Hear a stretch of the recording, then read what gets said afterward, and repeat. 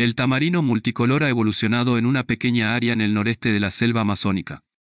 Su hábitat junto al río proporcionaba todas las presas y vegetación que necesitaban, pero a fines del siglo XVII se produjo un asentamiento humano.